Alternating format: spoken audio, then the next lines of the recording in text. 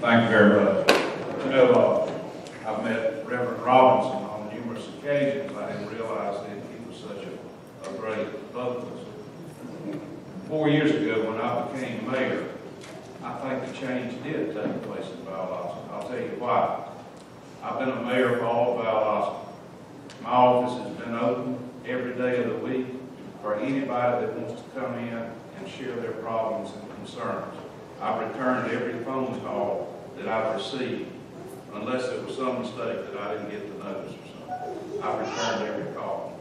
We have made progress in Valdosta, and we're going to continue to make progress. Reverend Rose asked me to ban the box. I did that. Uh, That allows us to hire people in the city who have a criminal record. We banned the box. We now overlook that in some cases.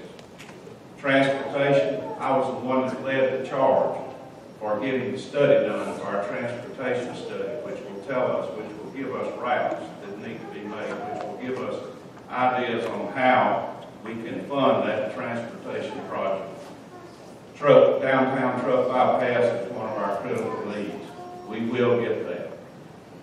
Uh, I mean, uh, James Wright mentioned the Clay Road project. That was taken off of list by the DOT. Mayor Hanson and I managed to get that put back on the list, and now that's fixing to happen. So those are the things, leadership is very important, and I can provide that leadership. I want to continue to review and revise our ordinances.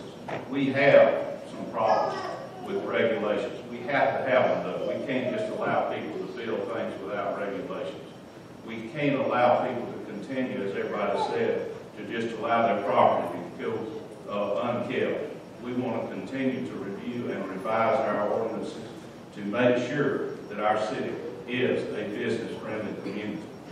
I appreciate that SCLC allowed me to speak tonight. I hope that you will see fit to elect people another four years as your